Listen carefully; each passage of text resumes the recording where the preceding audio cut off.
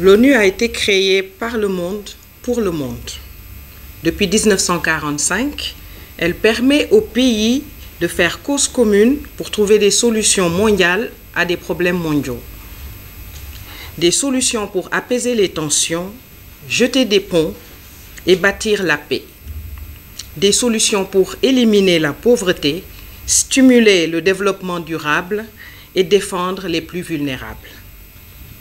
Des solutions pour apporter une aide vitale aux personnes aux prises avec des conflits, des violences, des difficultés économiques et des catastrophes climatiques. Des solutions pour offrir les mêmes chances aux femmes et aux filles et ainsi assurer l'égalité et la justice. Des solutions pour aborder des questions inimaginables en 1945. Les changements climatiques, le numérique, l'intelligence artificielle et l'espace extra-atmosphérique. En septembre, l'Assemblée générale a adopté le pacte pour l'avenir, le pacte numérique mondial et la déclaration sur les générations futures. Grâce à ces accords historiques, le système des Nations Unies pourra s'adapter, se réformer et se rajeunir, rester en phase avec les évolutions et les enjeux du monde qui nous entoure et apporter des solutions pour toutes et tous.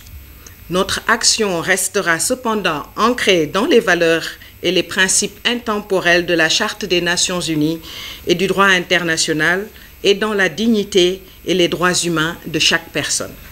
Dans notre monde en proie à la tourmente, l'espoir ne suffit pas. L'espoir passe par des mesures fermes et des solutions multilatérales en faveur de la paix, d'une prospérité partagée et d'une planète florissante. L'espoir passe par une coopération entre tous les pays. L'espoir passe par l'ONU.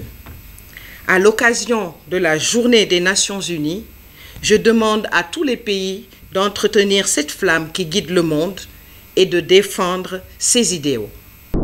Pour refléter au mieux notre engagement envers les communautés au Bénin, en Afrique et dans le monde, votre plateforme média Reporter Bénémonde embrasse une plus large vision et devient Reporter Média Monde. Nous sommes le trait d'union entre les communautés et les gouvernants. Suivez-nous via notre site www.reportermediamonde.com et en vous abonnant à nos différentes pages sur les réseaux sociaux. Reporter Média Monde. Nous faisons de votre information l'actualité du moment.